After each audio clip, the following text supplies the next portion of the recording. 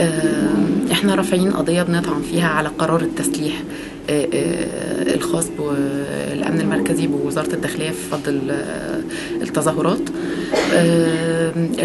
القضية مرفوعة باسم الناشط مالك مصطفى وزوجته لفقد العين اليمنى في أحداث محمد محمود.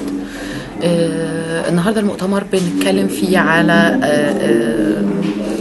الأحداث اللي حصلت من بعد الثورة وطريقه فض الاعتصامات والتظاهرات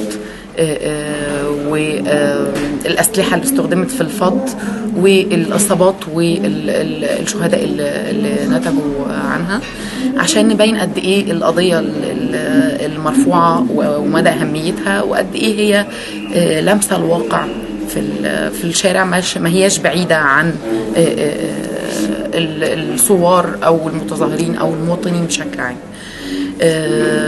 الأستاذة هدى اتكلمت عن آه، آه، قرارات التسليح القرارات الرسمية اللي بيطلعها وزير الداخلية بتسليح قوات الشرطة وقوات الأمن المركزي المختصة بفض ال- ال- التظاهرات.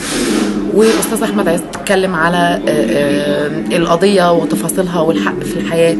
كحق مقدس أصلا من غير ما يكون منصوص عليه والحق في التعبير عن عن الرأي والتجمع السلمي وحق ال- ال- المواطنين في التظاهر والاعتصام آه، آه، بس ده ده ده ملخص اللي دار في في في القضية. آه، آه، إحنا شايفين إن في ظل الأحداث آه، ما بعد الثورة مفيش حاجة اتغيرت. هي هي نفس القرارات اللي اخرها كان سنة 97 آه، آه، كانت يعني هي هي اللي بتطبق دلوقتي بعد بعد الثورة.